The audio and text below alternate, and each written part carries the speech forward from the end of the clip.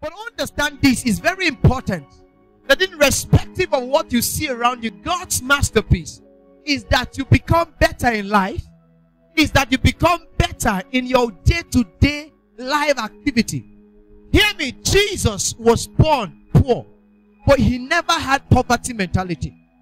He was born in a manger. That was circumstantial problem. That was the problem of his father and his mother, earthly. The Bible said there was no place in the inn, and they retired back to a manger, and there Jesus was born. But to disclose God's unending revelation about prosperity in chapter 2 of the book of Matthew, let's see in verse 5. Matthew chapter 2, verse 5. Bible says, wise men from the east. Where you see wisdom, you see wealth. Solomon was wealthiest because he was the masterpiece of wisdom. If you want to know the glory of Solomon's wisdom, study the book of Proverbs. Now, in chapter 2 of Matthew, verse 5, and they said unto him in Bethlehem of Judea, For thus it is written by the prophet. Let's go very fast. Verse 6. And thou, Bethlehem, in the land of Judah, art not the least among the princes of Judah. Now, do you remember that Judah is the smallest, is one of the smallest tribes? But God decided to decorate Judah. Can I prophesy to someone here? I don't care where you came from. Where you came from ended when you met Jesus. You didn't hear what I just said. Where you came from ended when you met Jesus. I come with an anointing greater than yesterday to put a full stop to where you came from and to open you to a new chapter of where God is taking you to. Can I tell you, ladies and gentlemen, I see angels dragging you to the place where God has planned for you. Nigeria's situation cannot stop you. Marriage cannot stop you.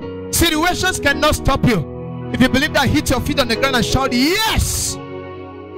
Verse 6 And thou, Bethlehem, verse 6, back to verse 6. And thou, Bethlehem, back to the previous verse, in the land of Judah, and not the least among the princes of Judah. For out of thee shall come a leader, which is called governor. Do you see that?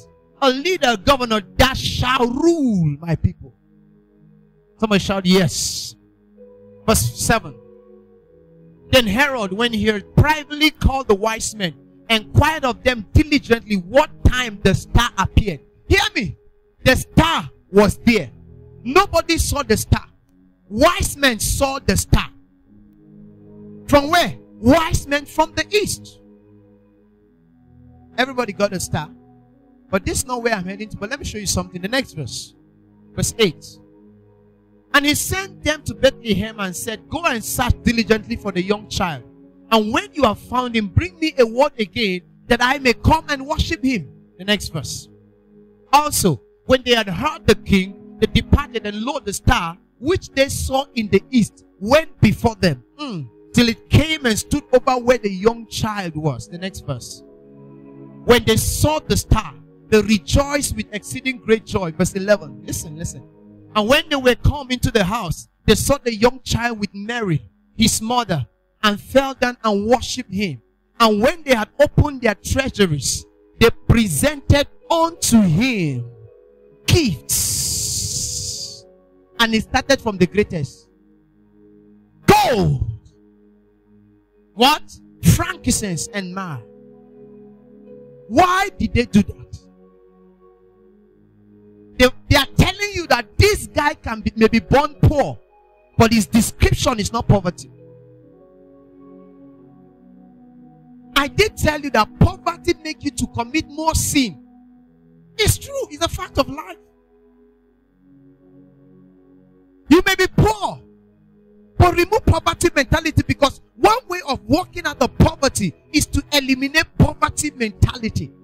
Only a fool riding on motorbike will insult a man cruising a jeep because both of you are moving.